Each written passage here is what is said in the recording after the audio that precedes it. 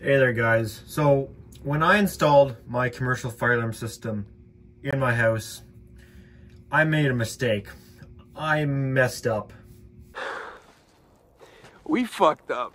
My attic heat detectors, I did something wrong. Let me explain. It isn't a hard to resolve mistake that can't be changed. It was a simple device misplacement mistake and I intended to install the right device, but I mistakenly ordered the wrong device to put up. Now, the device I'm referring to is a mechanical heat detector. We have mechanical heat detectors in the attic of my house. I didn't go addressable because I didn't want to have electronic equipment up in the attic where it's exposed to really harsh conditions, where it gets really cold in the winter and really hot in the summer, could potentially become humid. I've seen that cause problems with addressable. I'd rather have good old conventional mechanical heat detectors and have a monitor module down in the conditioned area of the house monitoring that two-wire conventional zone. So I installed two system sensor mechanical heat detectors 5600 series. Now, of course, because it's an attic, I wanted a high temperature detector. So that's what I went with. I went with one of these, what is it, 194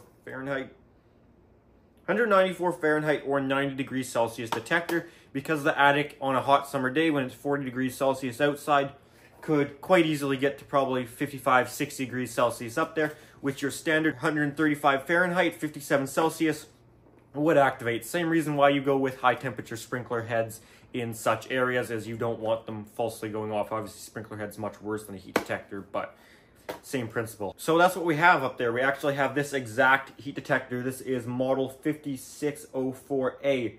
This is a fixed temperature 194 Fahrenheit 90 Celsius heat detector. This is fixed temperature. Fixed temperature is referring to the, the point that the, the detector permanently activates. It'll actually throw this disc off of the detector and there's no resetting it. The device is dead. You got to throw it out so that is a temperature that it will permanently activate on from a high temperature. But usually the faster way of setting off a detector, and usually what sets a heat detector off first, is rate of rise, giving them a much faster response time. Usually rate of rise, detectors combine rate of rise and fixed temperature, where the detector will activate if the temperature rises more than I think 15 Fahrenheit or 8 Celsius a minute, something like that. Don't quote me on that. It will set off the rate of rise. Now, obviously, we need that high temperature, but we can also still have rate of rise in the attic because it's never going to heat up that fast per minute in the attic unless there's a fire, which is what we want, is we want to catch a fire as soon as possible, which rate of rise gives us a faster response. Long story short, that's the mistake, is we installed fixed temperature, not fixed temperature and rate of rise. So we're going to be installing these guys right here. These are also 5600 heat detector, and this is 194 Fahrenheit 90 Celsius, which is the same.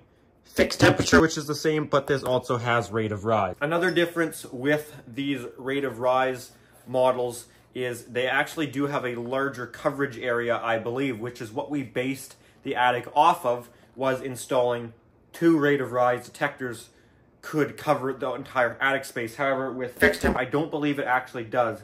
Don't quote me on what the actual size that it can cover is, but I believe it is increased for a rate of rise detector. Here is all of our models on the back of the detector box. So for this project, it's going to be pretty easy. Going to bring a multi-driver, going to bring a light,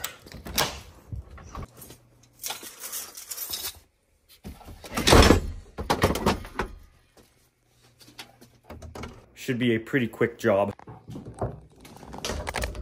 that closet there in this office on the second floor is where we access the attic first. But first I want to bypass the module that is monitoring those detectors.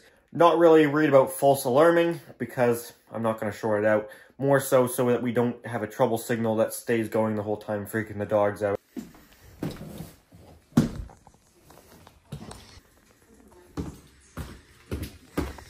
So we're going to head down to our main fire alarm control panel and bypass that module.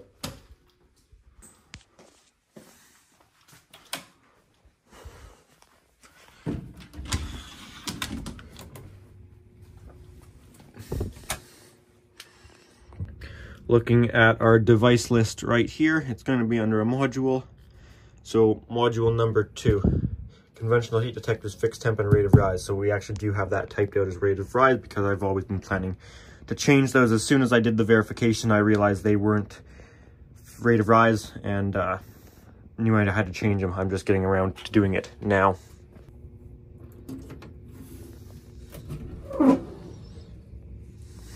So we're going to go into programming level one.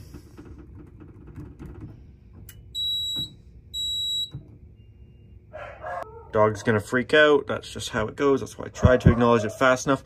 Then we are going to go to one for disable. And this is going to be a mod module. And this is going to be address number two. So zero, zero, two, enter, disable.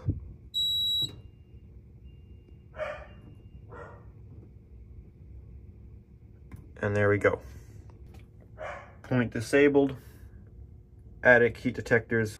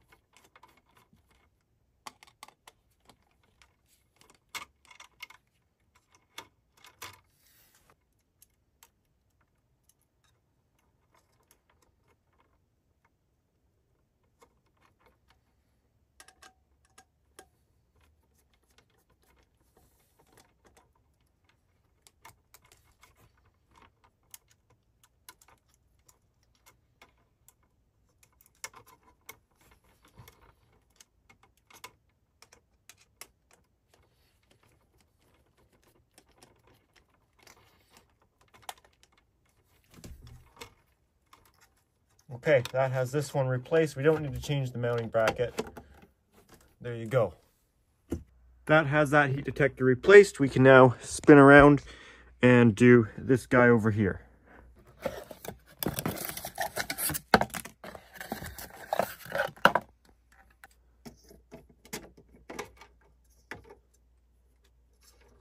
This is our end of line device up here.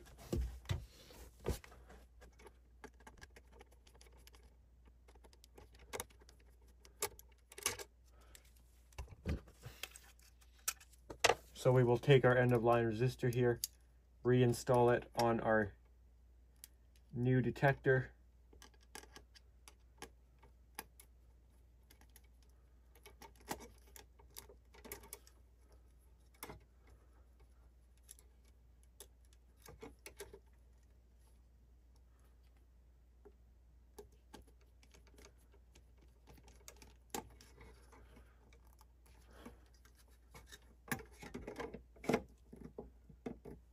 And there we have it. Okay, that has both of these attic heat detectors changed out. And we can now re-enable this module.